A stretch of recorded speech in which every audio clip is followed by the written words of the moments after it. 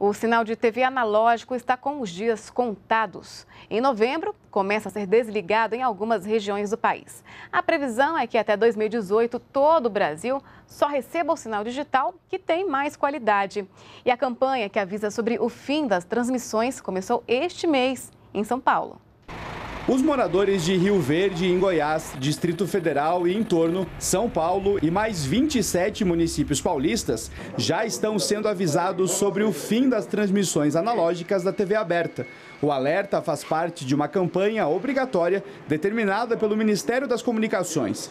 Quem ainda recebe o sinal analógico vê na tela, em algumas horas do dia, a letra A, que depois se abre e forma a palavra analógico, acompanhada de uma mensagem de alerta sobre o desligamento desse tipo de transmissão. Com essa transição, o consumidor vai ganhar uma qualidade muito maior de som e de imagem na sua TV aberta.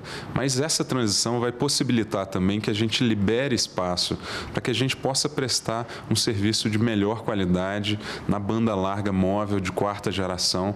Essa banda larga móvel de quarta geração vai poder chegar às periferias das grandes cidades eh, e inclusive ao interior do Brasil.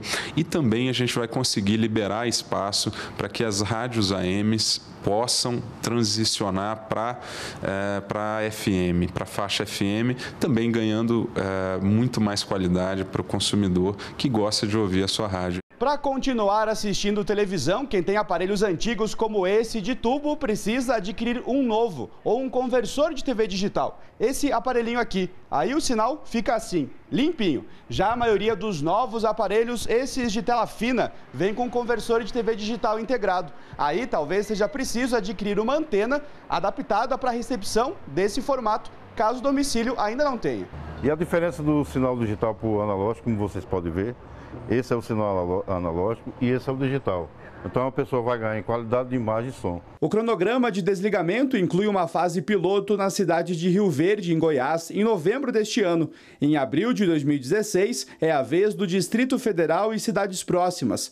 Depois, o sinal para nas regiões metropolitanas de São Paulo, em maio, Belo Horizonte, junho, Goiânia, em agosto e Rio de Janeiro, em novembro. A previsão é que o processo seja finalizado até 2018. Na casa do paulistano Cândido, o aparelho já tem mais de 20 anos e está com os dias contados. Nem a antiga fórmula de colocar palha de aço na antena vai conseguir manter o sinal. O jeito é se adaptar à novidade. Vai ter que comprar uma televisão é, digital. Então, no, ao longo do próximo ano, tem que planejar isso, sim. Para pegar uma imagem melhor, né? Para poder ver o, o São Paulo campeão.